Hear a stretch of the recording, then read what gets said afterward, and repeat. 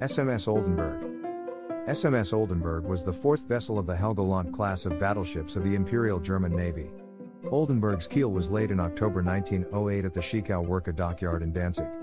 She was launched on September 30, 1909 and was commissioned into the fleet on May 1, 1912. The ship was equipped with 12 30.5 centimeters, 12 in guns and 6 twin turrets, and had a top speed of 21.2 knots, 39.3 kilometers per hour, 24.4 miles per hour. Oldenburg was assigned to I Battle Squadron of the High Seas Fleet for the majority of her career, including World War I. Along with her three sister ships, Helgoland, Ostfriesland, and Thüringen, Oldenburg participated in all of the major fleet operations of World War I in the North Sea against the British Grand Fleet, including the Battle of Jutland on 31 May and June 1, 1916, the largest naval battle of the war.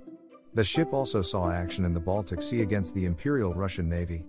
She was present during the unsuccessful first incursion into the Gulf of Riga in August 1915, though she saw no combat during the operation. After the German collapse in November 1918, most of the High Seas Fleet was interned and then scuttled in Scapa Flow during the peace negotiations. The four Helgoland class ships were allowed to remain in Germany but eventually ceded to the victorious Allied powers as war reparations. Oldenburg was given to Japan, which sold the vessel to a British shipbreaking firm in 1920.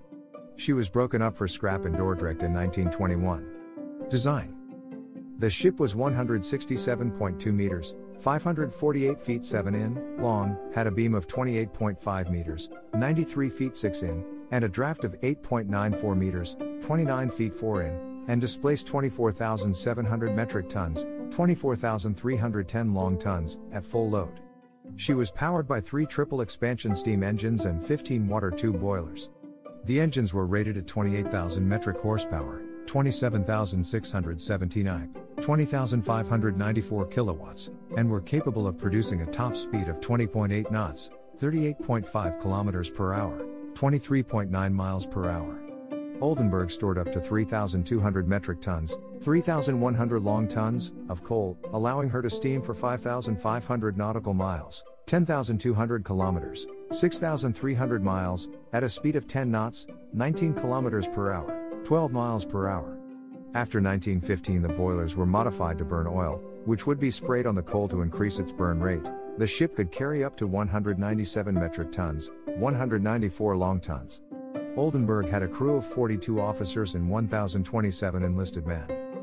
Oldenburg was armed with a main battery of 12 30.5 centimeters, 12 in, SKL 50 guns and 6 twin gun turrets, with one turret fore, one aft, and two on each flank of the ship. The ship's secondary battery consisted of 14 15 centimeters, 5.9 in, SKL 45 guns, all of which were mounted in casemates in the side of the upper deck. For defense against torpedo boats, she carried 14 8.8 centimeters, 3.5 in, SKL 45 guns. After 1914, two of the 8.8 centimeters guns were removed and replaced by 8.8 centimeters anti-aircraft guns. Later, an additional two 8, 8 centimeters guns were replaced with anti-aircraft guns.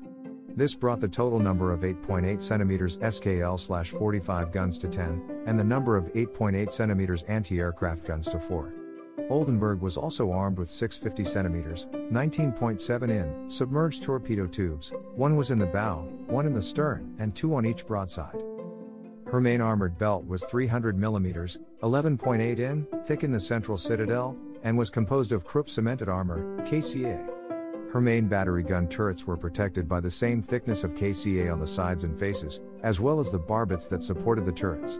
Oldenburg's deck was 63.5 mm, 2.5 in, thick.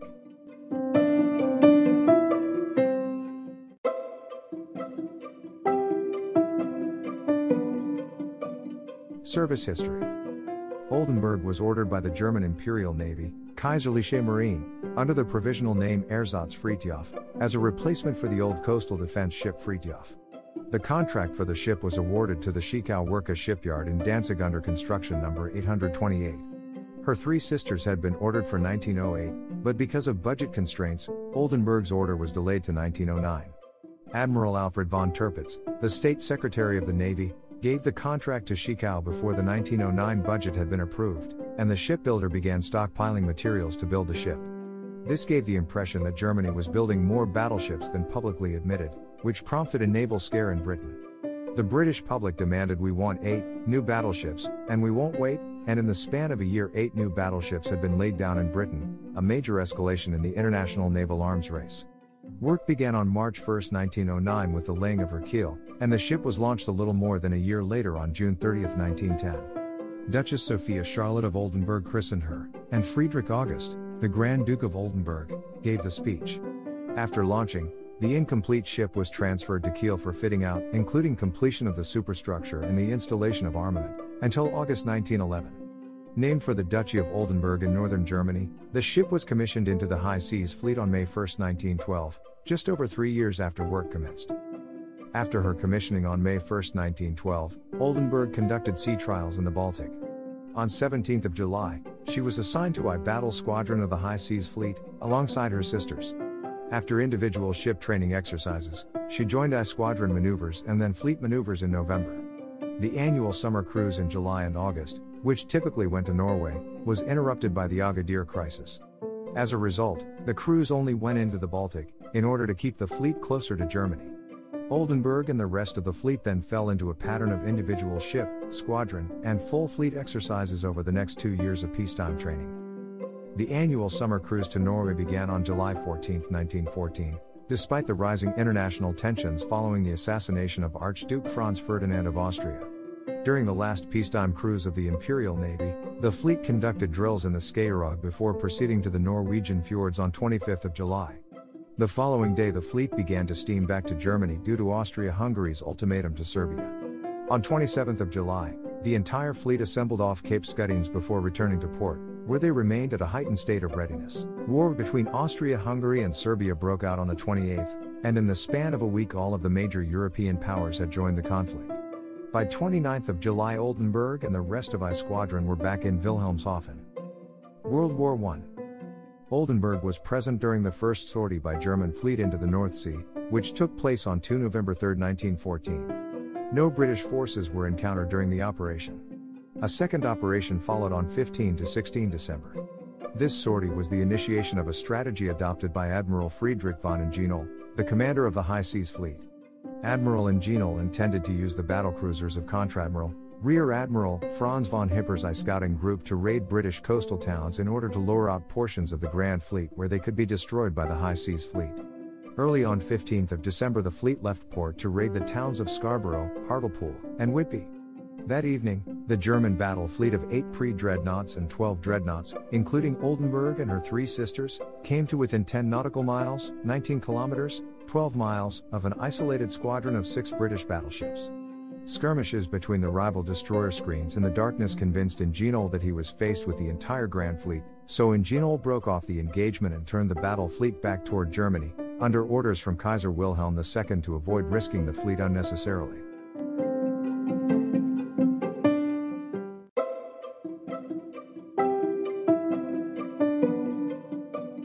The Battle of Dogger Bank, in which Vice Admiral David Beatty's 1st and 2nd Battlecruiser squadrons ambushed the I Scouting Group battlecruisers, occurred on January 24, 1915. Oldenburg and the rest of I Squadron were sortied to reinforce the outnumbered German battlecruisers. I Squadron left port at 12:33 CET, along with the pre-dreadnoughts of 2 Squadron. They were too late, however, and they failed to locate any British forces. By 1905, the fleet had returned to the Schillig roads outside Wilhelmshaven. In the meantime, the armored cruiser Blücher had been overwhelmed by concentrated British fire and sunk, while the battlecruiser Seydlitz was severely damaged by an ammunition fire. As a result, Kaiser Wilhelm II removed Ingenohl from his post and replaced him with Admiral Hugo von Pohl on 2nd of February. From 22 February to March 13, 1915, I Squadron was in the Baltic for unit training.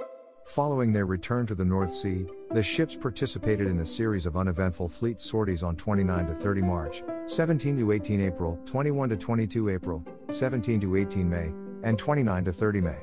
The fleet was largely inactive until 4 August, when I Squadron returned to the Baltic for another round of training maneuvers. From there, the squadron was attached to the naval force that attempted to sweep the Gulf of Riga of Russian naval forces in August 1915. The assault force included the 8 Squadron battleships, the battlecruisers von der Tann, Moltke, and Seydlitz, several light cruisers, 32 destroyers, and 13 minesweepers. The plan called for channels in Russian minefields to be swept so that the Russian naval presence, which included the pre dreadnought battleship Slava, could be eliminated. The Germans would then lay minefields of their own to prevent Russian ships from returning to the Gulf. Oldenburg and the majority of the other big ships of the High Seas Fleet remained outside the Gulf for the entirety of the operation, to prevent possible intervention by the Russian fleet outside the Gulf. The dreadnoughts Nassau and Posen were detached on 16 August to escort the minesweepers and to destroy Slava, though they failed to sink the old battleship. After three days, the Russian minefields had been cleared, and the flotilla entered the Gulf on 19 August, but reports of Allied submarines in the area prompted a German withdrawal from the Gulf the following day. By 26 August, I Squadron had returned to Wilhelmshaven. On 23 to 24 October, the High Seas Fleet undertook its last major offensive operation under the command of Admiral Pohl, though it ended without contact with British forces. Weakened by hepatic cancer and unable to carry out his duties, he was replaced by Vice Admiral Reinhard Scheer in January.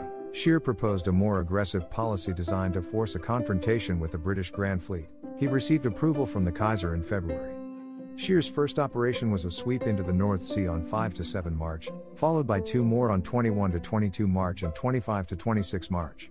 During his next operation, Oldenburg supported a raid on the English coast on April 24, 1916, conducted by the German battlecruiser force. The battlecruisers left the Jade estuary at 1055 and the rest of the High Seas fleet followed at 1340. The battlecruiser Seydlitz struck a mine while en route to the target, and had to withdraw.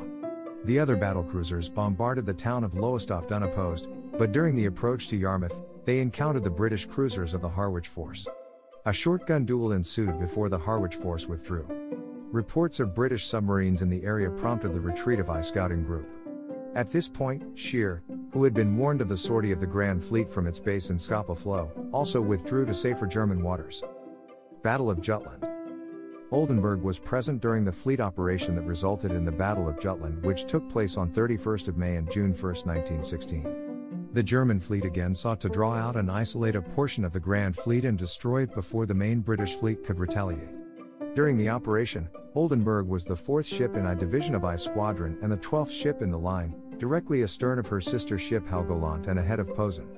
At the center of the German line was I Squadron, behind the eight König and Kaiser class battleships of 3 Squadron. The six elderly pre dreadnoughts of 3 and 4 divisions, 2 Battle Squadron, formed the rear of the formation.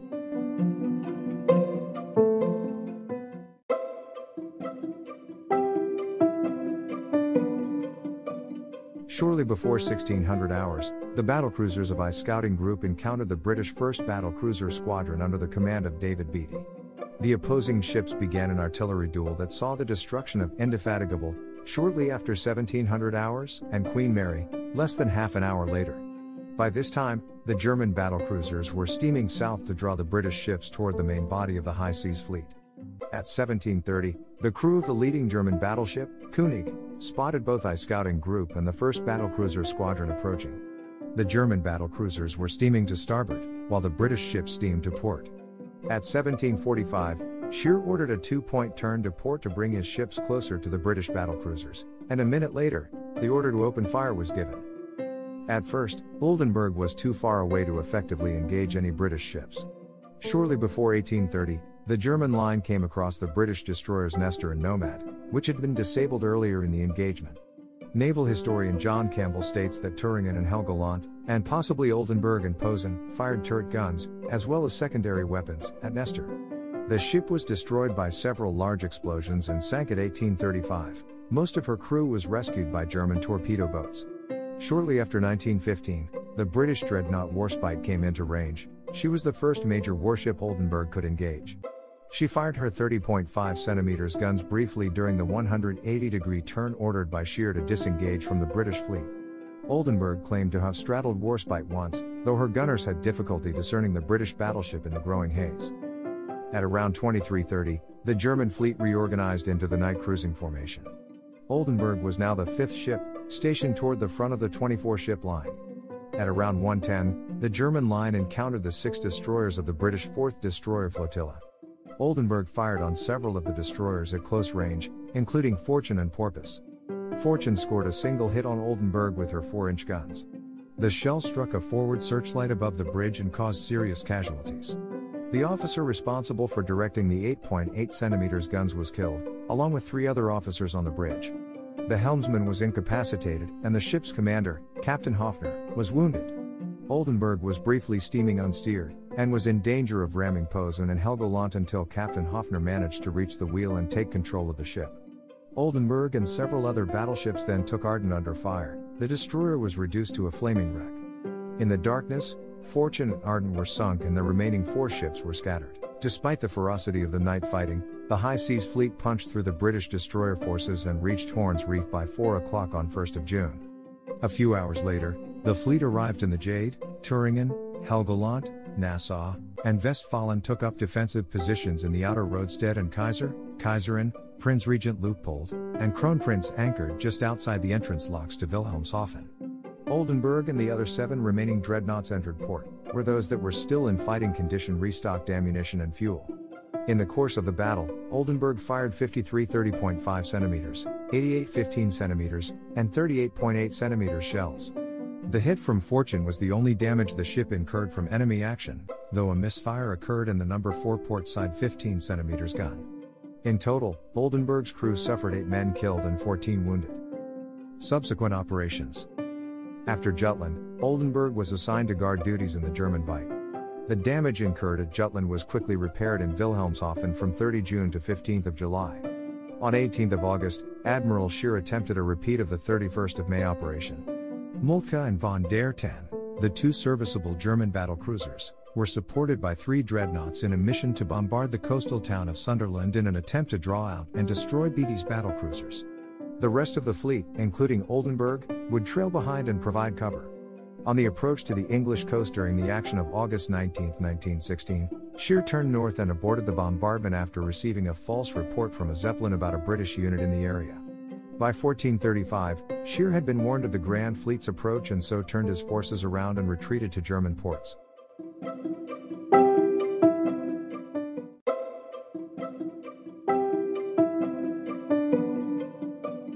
On 25 to 26 September, Oldenburg and the rest of I Squadron covered an advance conducted by the 2nd Führer der Torpedoboot, leader of torpedo boats, to the Terschelling Bank. Scheer conducted another fleet operation on 18 to 20 October in the direction of the Dogger Bank, though again they failed to find British forces. For the majority of 1917, Oldenburg was assigned to guard duty in the German Bight. During Operation Albion, the amphibious assault on the Russian held islands in the Gulf of Riga, Oldenburg and her three sisters were moved to the Danish Straits to block any possible British attempt to intervene.